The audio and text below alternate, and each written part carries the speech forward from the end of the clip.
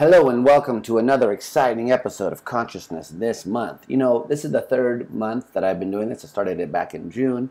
Um, and my, as you all well know by now, probably, if you're watching this, my idea was to pick a topic and record some stuff, uh, talking about a little bit, and then have some guests on um, to further debate it.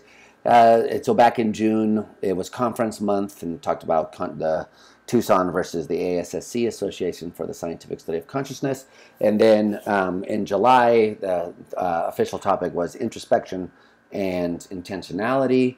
And it's really hard to keep doing that because people's uh, schedules are very all over the place, you know. And so uh, some people are scheduled for other months and sometimes this month. And so I was really hard to kind of keep it all into uh, one sort of set area. So um, maybe I'm not going to be trying to do that as much, but uh, still I'm trying a little bit to do that. And so the, the theme that I wanted to talk about this month was attention, working memory, and phenomenological overflow. So these are some issues that have been very um, close to my heart. Uh, and and um, things that I've actually published on and, and care about uh, a lot. Now, obviously, there's been some overlap. We already talked a little bit about attention uh, with some of my previous guests. Um, but attention is one of these things that seems like you know what it is until you start trying to say what it is, and then it's very difficult. So obviously, there's kind of common sense metaphor um, uh, invoking a spotlight, the spotlight of attention, so that when we um, think about attention, it's like focusing in uh, on a, a, subset of all of the information that's available to us, and um, uh, to the exclusion of that other information. And as we all know, there's two kinds of attention, at least two kinds. So there's exogenous and endogenous attention. So exo exogenous attention is attention that's somehow captured by something in the environment. So if you hear a loud sound, then you orient towards the sound. Um, that's sort of automatic. Your attention is captured by that. There's other phenomena as well um, where you get this kind of capturing effect. Um, so that's an interesting phenomenon. Um, but there's also what's called endogenous attention, which is where you internally direct your attention. So this is, you know, paradigm cases like when you're reading or something like that, I guess. Um, uh, you may tune out the sounds of the background. You're not paying attention to the sound of the running water or the dog pattering around or whatever. You're focused on what's happening on the page or in, in your mind in response to the page. Um, and there, again, it's, uh, it's, it's difficult to actually know what level to even pitch a theory at. So do we want to talk about it in terms of neural terms, in terms of psychological terms, the information processing? Um, those are important issues. Now, as it relates to consciousness specifically, there um, are a couple of questions in this area. So I think the simplest question is, is attention necessary for consciousness? So um, does, does consciousness require that you attend to something? Or, or, to put differently, if you don't attend to something, are you not conscious of that? Um, so if there's no attention around, is there no consciousness? Um, uh, another question, that's the flip side of that, is the sufficiency question, which is, is attention sufficient for consciousness in that and whenever you're attending maybe in a certain way with some restrictions, let's, let's say, then you have consciousness. Um, there, that there's uh, something that is like for you when and only when there's attention. So um, there are people who think that you get a disassociation in both directions. So people who think that attention is not necessary, that you have consciousness in the absence of attention. Um, and there are people who think that attention is consciousness, um, but that's just what consciousness is. It turns out to just be attending to something. And there are reasons for thinking this. You know, some of the interesting reasons maybe come from inattentional blindness. Um, the famous gorilla walking across the stage experiment comes to mind here. So the in, in, a case where you're being told to count how many times basketball players wearing a white shirt are passing the ball amongst themselves, and there's all these people moving around on the um, on the stage or the screen, and then a person in a gorilla suit walks by. This has uh, become quite popular. It's in commercials, and you can see it pretty much anywhere. Just Google uh, invisible gorilla, uh, and, and you'll find it. And so some people think that this supports the idea that consciousness is required for attention because here's a case where your attention is clearly being captured, uh, your focus very clearly on where the ball is being passed amongst these players, and you just are not consciously aware of the gorilla as it walks by, or at least many people are not. Uh, some people are, uh, they spontaneously notice, notice it, and the idea is supposed to be, well, they were just attending, luckily, to where the gorilla was at that moment. But uh, if your attention is directed somewhere else, then whatever outside of attention is outside of conscious experience. So I think that's one reason that people have for thinking that attention is necessary for consciousness. Um, maybe even also for thinking that it's sufficient. I don't know. That may be a different issue. Uh, uh, on the other hand, there are people who think, like I just said, that attention is sufficient for consciousness. So these people think that whenever you're attending in the right way, then that just is what we mean by consciousness. And there are people who think that no, this is not the case, that there can be unconscious attention, attention um, uh, drawn to things outside of conscious experience. So there are some empirical results that seem to differentiate between these. Um, uh, uh, I won't mention any of the results right now, but I am curious what the general, what's the common sense view? So I'm curious about what people who are listening to this think about the relationship between attention and consciousness.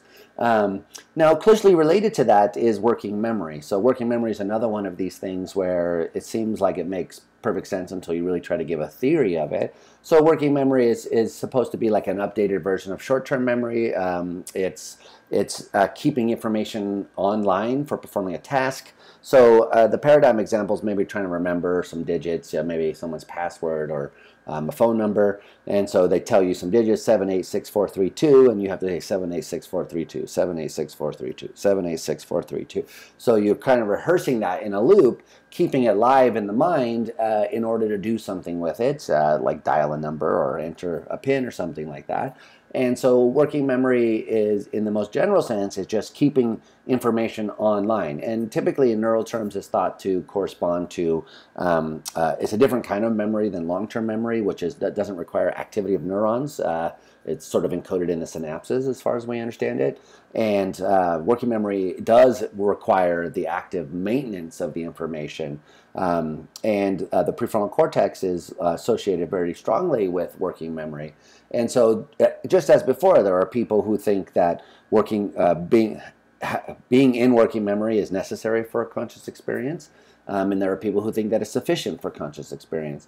Uh, so once again, there are all sorts of issues here. I, I think the global workspace theory of consciousness probably is um, one of the more recognizable theories that seems to um, equate conscious experience with the contents of working memory. Um, at least in some versions of it, it's it's kind of hard actually to nail down what global workspace theorists actually think because there are actually different versions of the theory. excuse me, which are all lumped together uh, often. Uh, but just as before, there's a question about whether there could be unconscious working memory. So that's something that I'm very interested in. Um, well, can there be unconscious working memory? Um, I think that the answer is yes. There are people who think that the answer is no. there are people who think that the answer is no. So um, I want to talk to some of these people, get some skeptics and some uh, non-skeptics on here. But then there's just even a further question which is um, is working memory an actual psychological kind? Is it something that will exist in our best theory of the mind when we have all the data in, or at least more of the data than we do now? So uh, there are people who are very skeptical about the, the, the, very nature of working memory, that it is even a, a, a unitary kind of thing. And I want to bring some of those people on to talk about why they're skeptic, why they're skeptics about something which is um, appealed to all over the place in cognitive science, and uh, get some of their arguments here. Now, both of these kinds of issues are related to the notion of phenomenological overflow. Uh, and again, this is one of those things where um, it seems like it makes sense. It, roughly, the idea is supposed to be that there's more in our conscious experience than we have access to. That's the kind of common sense way of, of putting what phenomenological overflow is, that we experience more than we can access at any given moment. Uh, it's closely associated with Ned Block and his work. Um, and, uh, you know, just by autobiographically, I can say that as an undergraduate, when I was coming into these debates, I was very convinced by, by the, some kind of overflow that there was more in our conscious experience than that we accessed.